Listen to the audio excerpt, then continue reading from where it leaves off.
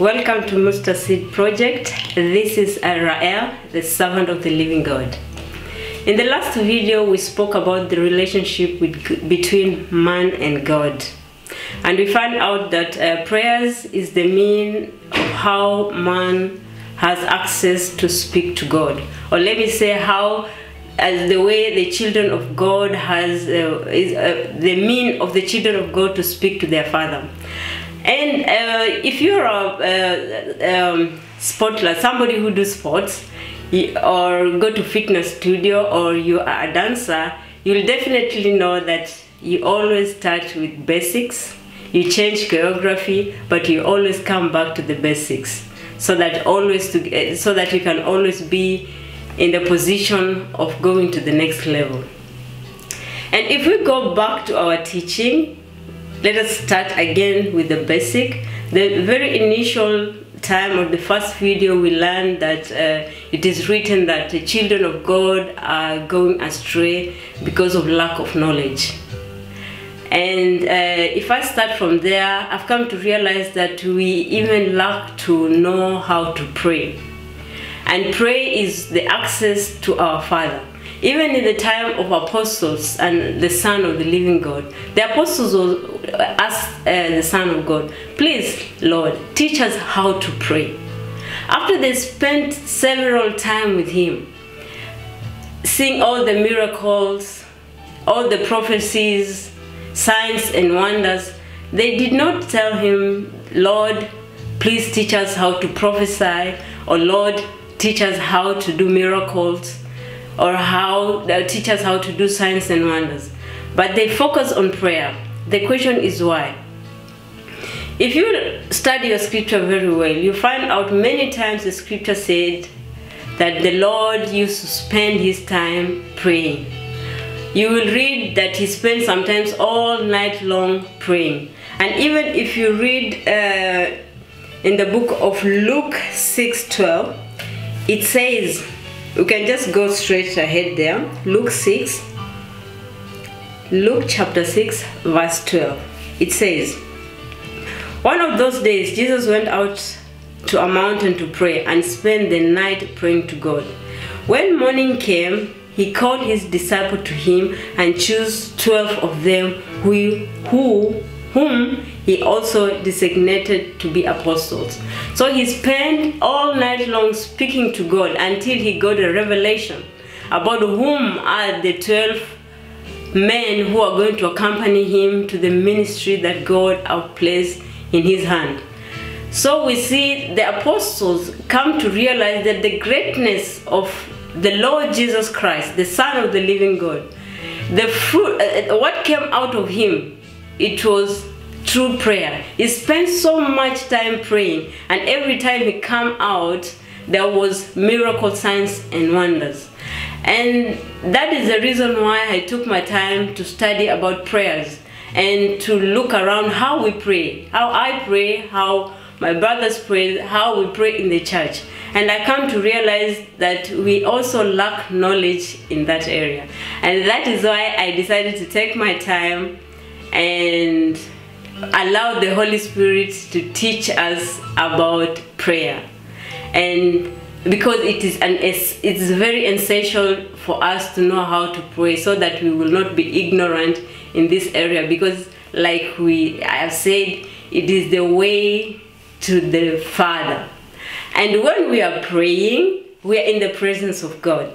If I can put it in a practical form, you know, when you need something from your parent, especially your father, you will go to him and you will speak to him. That means your father is present while you are asking him what you need from him. So it is with God. In the moment that we are praying, we are in the presence of God. And when we pray well, according to how it's supposed to be, then it, it, uh, we have to see the fruits of our prayer. Because the Lord Jesus Christ promised us that wherever we ask in prayer, in His name, it shall be granted to us. My question to you do you see the fruit of your prayer? Is, do you get answers to your prayer? If yes, then you're doing it right. If not, then you have to take time and listen to me from today on according to how the Lord is going to lead us maybe we can start with the foundation. Maybe we will go deeper. It depends how the lord is going to lead us. So sorry.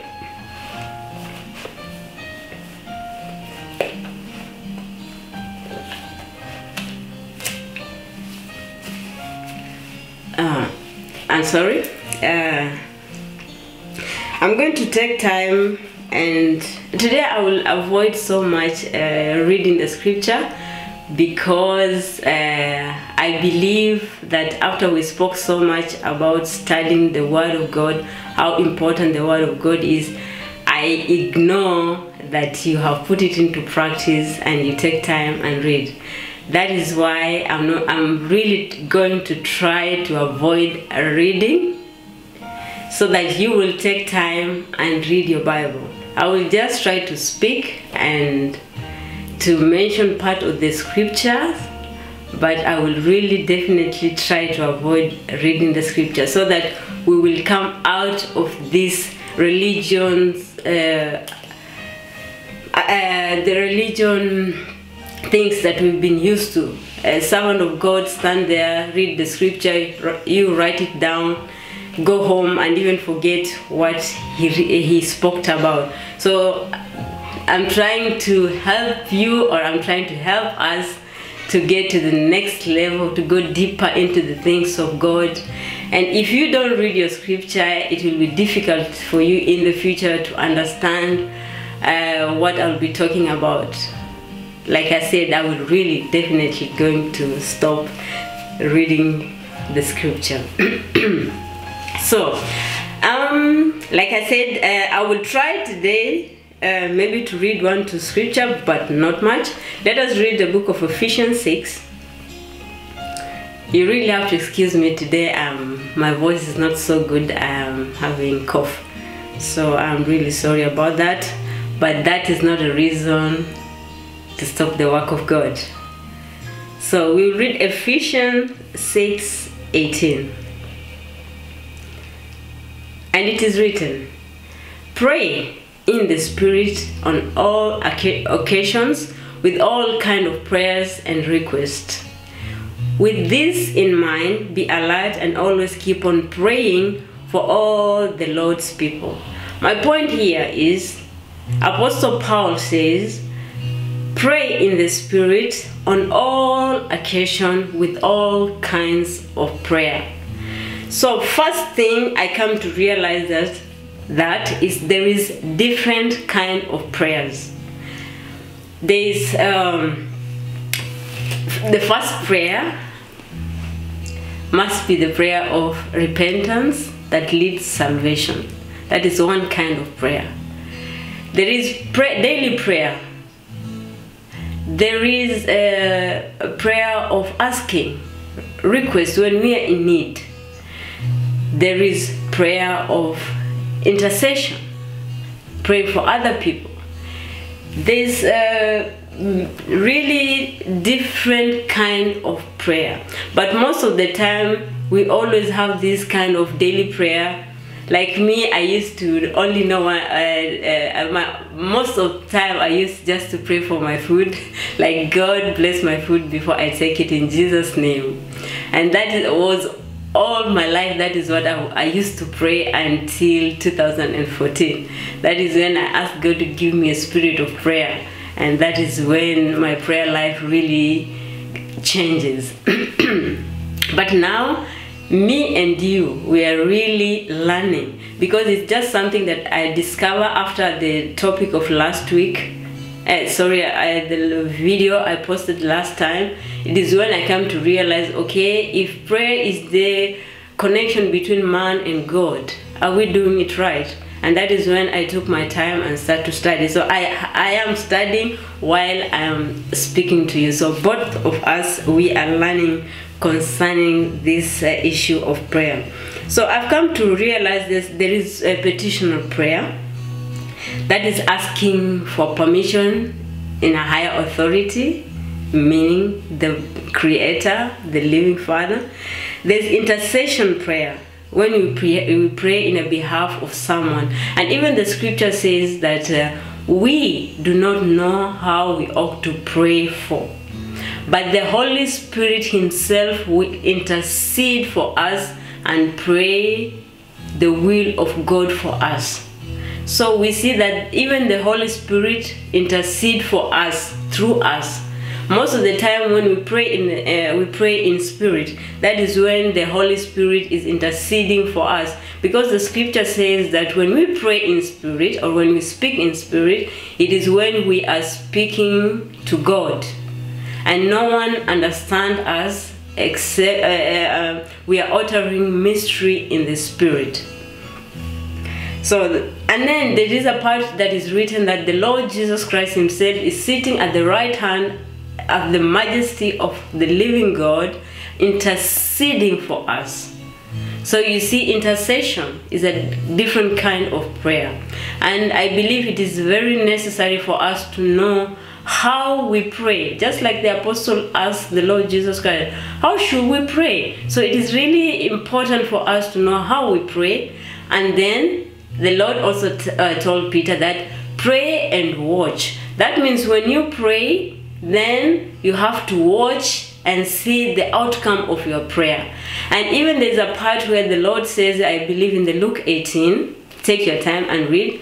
He was talking about a widow who was um, uh, trying to uh, get justice and he said just like that woman who keep on going back to this judge and keep on demanding for uh, uh, for justice he says so should we also be that we have to always pray until we get what we need from the father. Because god also wants to see your genuine willingness. And there's a part also in the scripture where apostle james if i'm not wrong said that when we pray, we don't receive. Why? Because of the attitude of our heart. So there's so many things that we have to watch out when we are praying. And even forgiveness. He said before you go start praying, you have to forgive those who have sinned against you. So that is why I, if you see the only short, um, um, I mean, those small things that I've mentioned now, you, you realize by yourself that there is so many things we have to watch out before we pray. First of all, you have to know the topic. What do you want from God? Do you want to thank Him? That means that is a thanksgiving prayer. Is it you're asking God for your daily bread? That's a kind of different prayer. Are you praying for somebody? That is intercession. And then you have to focus on on intercession because the scriptures say that um, there's time and season of everything. So even in prayer you have to know which prayer are you offering when. So there is also um, a prayer of deliverance. You cannot mix the when you're praying start by thanksgiving and the same times you landed starting uh, praying for deliverance you see, we have always really to study the scripture and to pray and ask God to give us knowledge in so many things in life, especially in our spiritual life. We are really babies. So let us try to get out of there. Let us grow and get out of childhood and become mature so that we can eat solid food because time is running. The scripture says that uh, the Lord Jesus Christ is coming soon. Yes, many people say can think, okay, since generation we've been hearing that Jesus is coming soon, and today here we are, he's not yet there. That is very true. Many things has to happen before he comes. But the point is, he said, no one knows the day or the hour. And that is the point. Do you know your day and your hour when your spirit will be taken out of your body? No, you don't know. And that is the reason why we have to grow in the spirit so that we will reap the fruit of our works. so, uh, if I continue, there's also prayer of protection we can also have a prayer of supplication. there's so many different kind of prayer. You can pray in tongues. That is also another uh, different ways. Okay that a different kind of prayer. And um, and the scripture says also that we can we must also pray in the city where we are living so that we will have peace. Do we do that i don't think so. And if yes very few of us do so. And many people who pray for their city is most of the time when the trouble occurs. And that is when we start taking our time and praying for our cities. The scripture also says apostle paul also advises us that we have to pray for the kings governments and presidents who are ruling us who god have put there to rule over us. We have to pray for them so that we can live in peace. Do we do that? I don't think so. And most of the time when we do so it is when a problem occurs most of the time when the, uh, there's a presidential vote that is when you'll see many people pray for the nation or pray for the candidates that uh, they would like them to win. But during our normal daily life do you take time and pray for the kings for the governors for presidents ministers and those who rule over us because the scripture said the prayer of a righteous man is very powerful and very effective. So you as a child of God, God hear your prayer much more than, I mean your prayer is very, very needed. If you remember, uh, there's a place written in the scripture that um, the servant of God, Elijah, prayed that it would stop raining for almost three years in Israel. And truly truly the rain stopped. And there was drought and hunger and people were dying. And even the angel they tried to intercede uh, for the people. They were crying to god and saying, now you have to send the rain. But the lord said wait until my servant elijah pray then i will send the rain so you can see how important it is for us as children of God, as servants of God to pray. Pray for your nation. Pray for the city you're living in. Study the scripture to know how to pray and ask God to teach you how to pray. And pray for me too, that God will give me grace to continue on this mission of taking the children of God from the low part of the glory to the next level, going higher and higher we will go. Thank you for today. And I pray and hope uh, that God will give us grace really to continue in our uh, in our project. And I just have to uh, remind you the things that uh,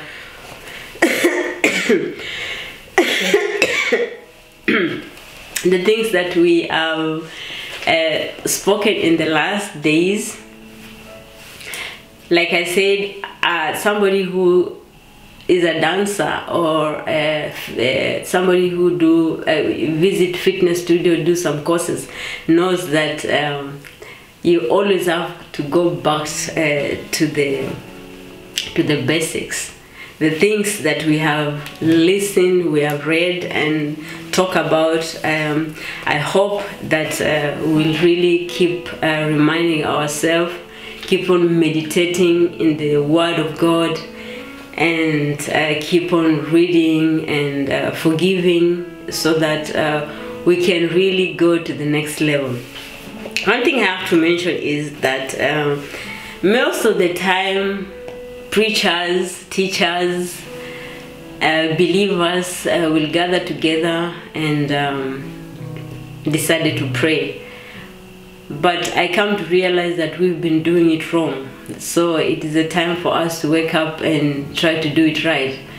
For example, uh, in the book of Mark 16 17, the Lord Jesus Christ said that uh, this will be the sign that accompany those who believe.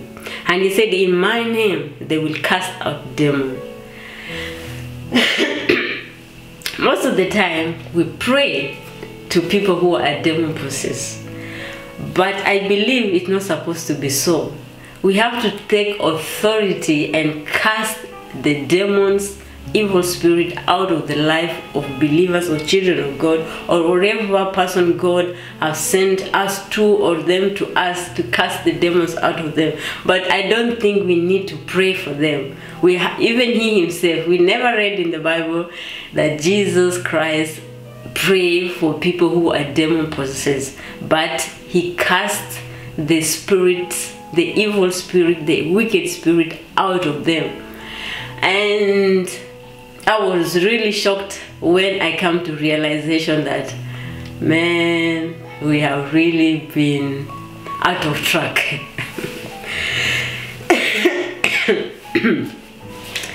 so, my um, point today or question for you is um,